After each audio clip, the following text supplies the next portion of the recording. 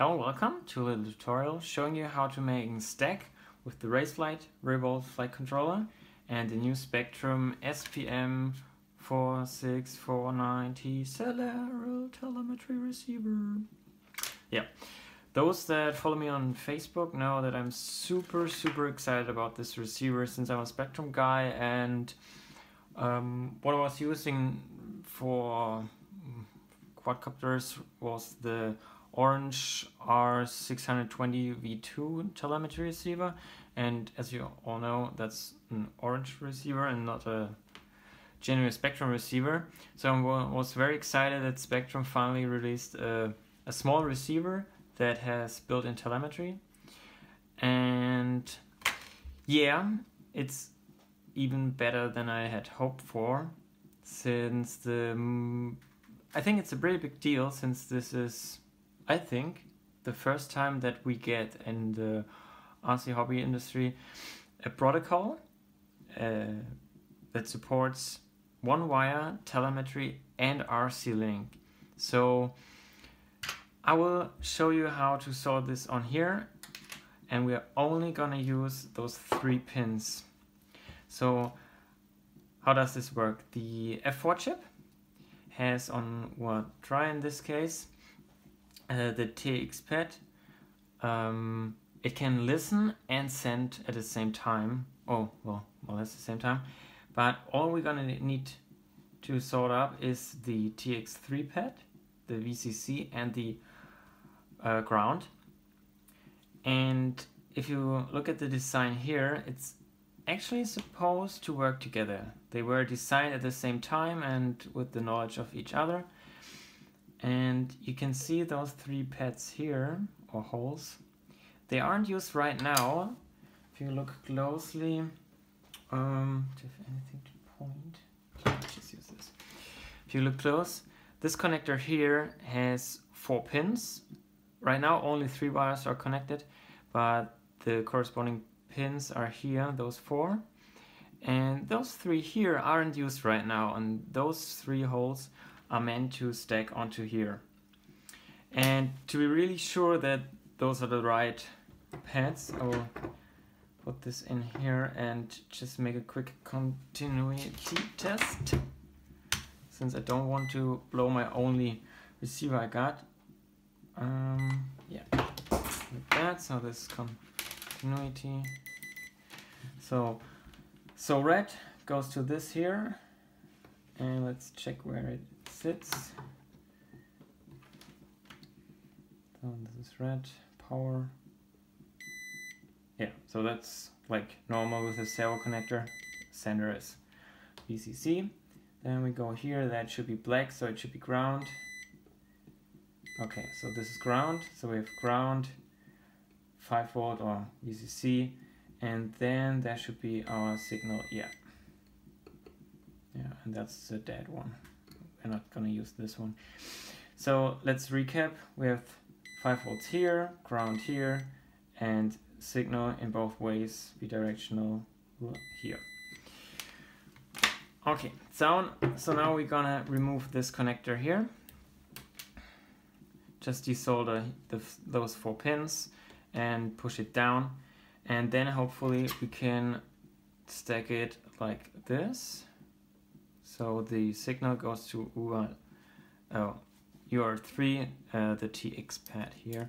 So it will look like, well, like this. Actually, you can see it. I will be, it will be pretty flat.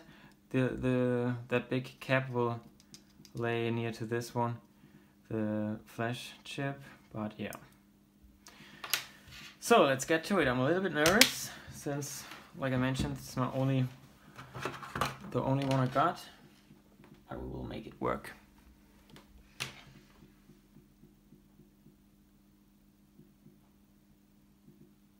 Worst case, if we desolder any components, we can just put them back on, I think. Ah, look at that. That's actually pretty loose already.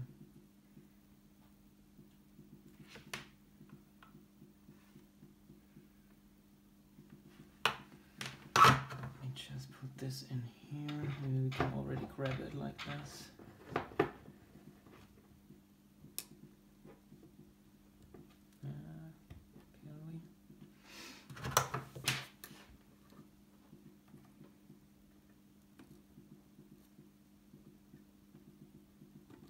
yeah.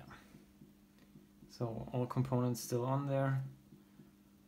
And other side looks good as well, does it? Yeah, it does. Okay, so that was the scariest part, I think. I will leave that connector on here. Normally you don't need that since RaceFlight supports um, sending telemetry data off the LiPo voltage to the receiver. So this is just the analog um, voltage measuring thing that's built in. So if you aren't using a flight controller that has that uh, capability of sending telemetry, uh, you can still get telemetry information on your transmitter uh, using this connector here. I think this one uh, actually will use we will be used for the lap timer as well, so it doesn't interfere with my plans. So I will just leave it there. So let's get into the flight controller. First of all, we need 5 volts on the VCC pads. So what we're gonna do is, let's check this out here. We have VCC and 5 volts. So I'll bridge this here. I know I don't have the finest solder, but that should be sufficient, shouldn't it? Yeah. Okay, so let's flip this around. I will leave those like this and snip them off later. But for soldering, it should do it. I'll try to put it in like this so I don't move the pins. Not sure that's necessary or not. But yeah. And don't uh, tell me I can't solder. I know I can't, but that's just the style I do. Why shouldn't I do it? I need to learn it, so that's why I'm doing it. Yeah.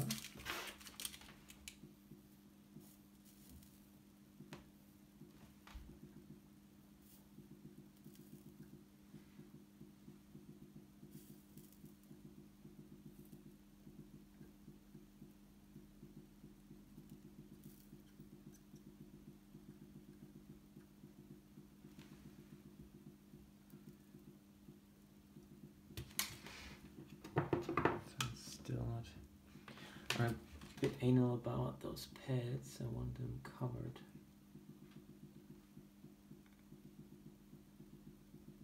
That should do the trick.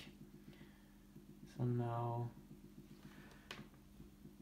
let's check again, ground.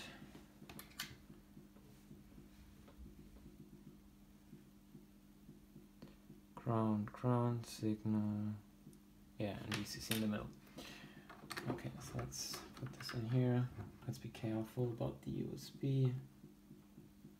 Yeah, that should work. And let's see.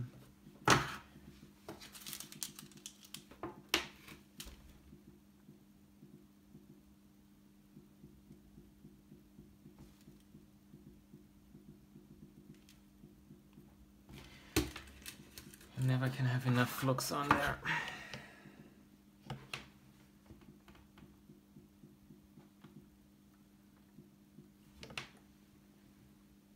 That's already sold on here so it won't fit that easily. Oh. Work eventually.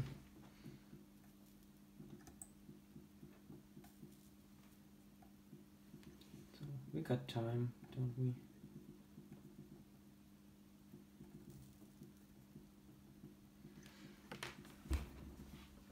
So actually I will try to leave a little gap in between both.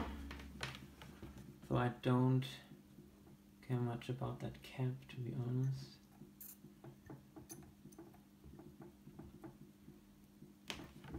So that's actually half the rent.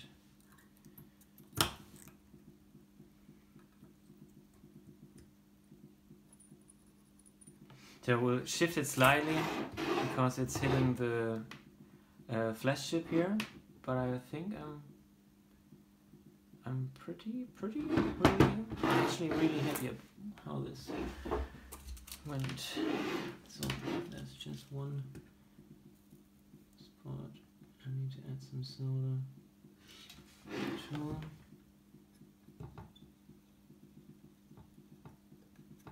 So the cool thing about this wrench, I think it's called wrench, is um, I'm not sure you can see this, but inside here is a really a little ledge, so the pins couldn't be pushed further down.